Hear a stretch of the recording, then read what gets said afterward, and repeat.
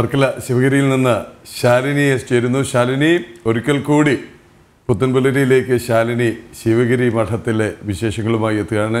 ശാലിനി പതാക ഉയർത്തുന്നത് നമ്മൾ കണ്ടു. അതുപോലെ ജപയജ്ഞത്തിന് ദീപം തെളിഞ്ഞു. ഇപ്പോൾ അവിടെയുള്ള വിശേഷം എന്താണ്? ഇനി നടക്കാൻ പോകുന്നത് ജയന്തി സമ്മേളനമായിരിക്കും. അല്ലേ ശാലിനി?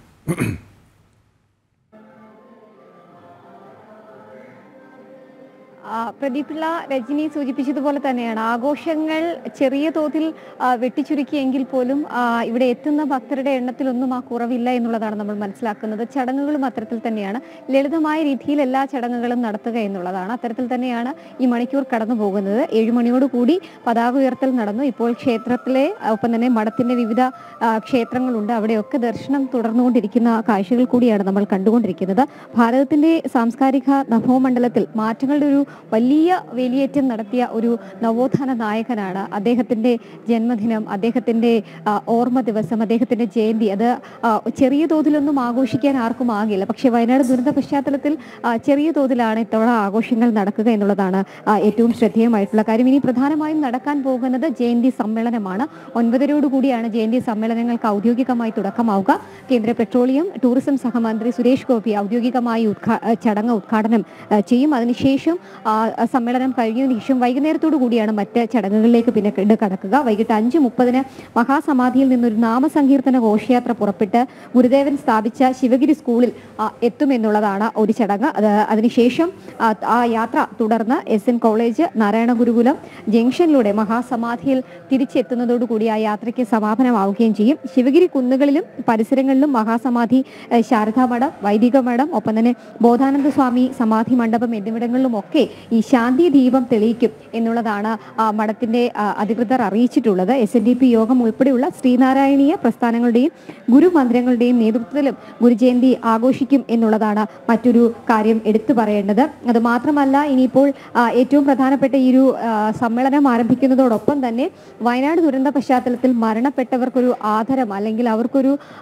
ഓർമ്മ കൂടി ഇവിടെ നടക്കുന്നുണ്ട്. അതിനു വേണ്ടിയിട്ടുള്ള ദീപം തെളിയിക്കൽ ചടങ്ങുകളടക്കം ഇവിടെ മഠത്തിൽ നടക്കുന്നുണ്ട് എന്നുള്ളതാണ് അധികൃതർ അറിയിക്കുകയും ചെയ്തിട്ടുള്ളത്. ഇപ്പോഴും ഇവിടെ തിരക്ക് കൂടിക്കൊണ്ടിരിക്കുകയാണ്. വരും മണിക്കൂറുകളിലും കൂടുതൽ വിശ്വാസികൾ ഒപ്പം തന്നെ ഗുരുദേവ ഭക്തരൊക്കെ ഇങ്ങോട്ടേക്ക് ഒഴുകി എത്തും എന്നുള്ളതാണ് ഇവിടെ ശ്രീനാരായണ ഗുരുമഠം അധികൃതരും പ്രതിനിധികളും ഒക്കെ നമ്മളോട് പറയുകയും ചെയ്തിട്ടുള്ളത്. എന്തായാലും വലിയ രീതിയിൽ സ്റ്റേജ് കെട്ടിയും വലിയ രീതിയിലുള്ള ആഘോഷങ്ങളൊക്കെ ഒഴിവാക്കിക്കൊണ്ട് ഈ ഒരു ദിവസം ഈ നൂറ്റി എഴുപതാമത് ജന്മദിന ആഘോഷ ചടങ്ങുകൾ അത് വലിയ രീതിയിൽ അതിഗംഭീരമായ ഓർമ്മ ജയന്തി അല്ലെങ്കിൽ അദ്ദേഹത്തിന്റെ തിരുജയന്തി ആഘോഷമാക്കുകയാണ് വർക്കല ആ, വർക്കലയിലെയും ഒപ്പം തന്നെ ശിവഗിരിയിലെയും ഈ ഒരു ദേശം ഈ ഒരു മണ്ണ് എന്നുള്ളതാണ് ഏറ്റവും ശ്രദ്ധേയമായിട്ടുള്ള കാര്യം. ചെമ്പഴന്തിക്ക് സമാനമായ രീതിയിൽ ഇവിടെയും ആഘോഷങ്ങൾ നടക്കുന്നു. ഒപ്പം തന്നെ അരുവിപ്പുറത്തും വിപുലമായ ചടങ്ങുകളാണ് ഈ മണിക്കൂറിൽ ഇപ്പോൾ നടന്നുകൊണ്ടിരിക്കുന്നത്. എന്തായാലും വലിയ രീതിയിലുള്ളൊരു തിരക്ക് വരും മണിക്കൂറിൽ ഉണ്ടാകും എന്നുള്ളത് നമ്മൾ പ്രതീക്ഷിക്കുന്നു.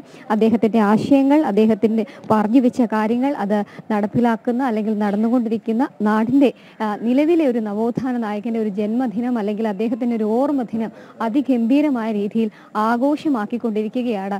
നാടെങ്ങും ഒപ്പം തന്നെ ശ്രീനാരായണ ഗുരുഭക്തരും. പ്രദീപ് പിള്ള. ശിവഗിരി എന്ന ശാലിനിയായിരുന്നു വിവരങ്ങൾ നൽകിയത്.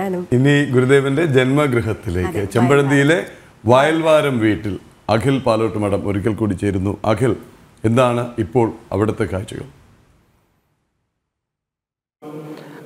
പ്രദീപ് ചെമ്പഴന്തിയിലെ വയൽവാരം വീട്ടിലും പൂജാതി കർമ്മങ്ങളൊക്കെ തന്നെ പുരോഗമിക്കുകയാണ്. ഭക്തജനങ്ങളുടെ വലിയ ഒരു തിരക്ക് ഇവിടെയും അനുഭവപ്പെടുന്നുണ്ട്. ഇന്നലെ മുതലാണ് ഇവിടെ ജയന്തി ആഘോഷങ്ങൾക്ക് തുടക്കം കുറിച്ചത്. സ്വാമി സച്ചിദാനന്ദ പതാക ഉയർത്തതിനു ശേഷം ആരംഭിച്ച പൂജകളടക്കം ഇവിടെ നടക്കുന്നുണ്ട്. ഇന്ന് രാവിലെ ഞാൻ നിൽക്കുന്ന ഈ വയൽവാരം വീട്ടിൽ പ്രത്യേക പൂജയുണ്ടായിരുന്നു. ആറ് നാൽപ്പത്തിയഞ്ചിനായിരുന്നു ഗുരുദേവന്റെ ജന്മഗ്രഹമായ വയൽവാരം വീട്ടിൽ പ്രത്യേക പൂജയുണ്ടായിരുന്നത്. അതിനുശേഷം ഉച്ചയോടുകൂടി തന്നെ മറ്റു പൂജകളും ഇവിടെ ഉണ്ടാകും. ഉച്ചപൂജ അടക്കം ഉണ്ടാകും എന്നതാണ് നമുക്ക് അറിയാൻ സാധിക്കുന്നത്. ഇപ്പോൾ മറ്റു ക്രമീകരണങ്ങളൊക്കെ തന്നെ ഇവിടെ ഒരുക്കുകയാണ്. രാവിലെ പത്തു മണിക്കാണ് ജയന്തി ആഘോഷങ്ങളുടെ ഉദ്ഘാടനം.